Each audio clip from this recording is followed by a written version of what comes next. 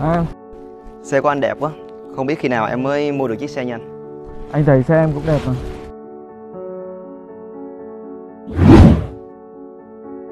Dạ hợp đồng của đối tác ạ. Ủa cơm vợ anh nấu anh Linh. Đúng rồi. Vợ em mà được nửa vợ anh thì hay quá. Tối ngày đi làm không biết quan tâm gì tới em cả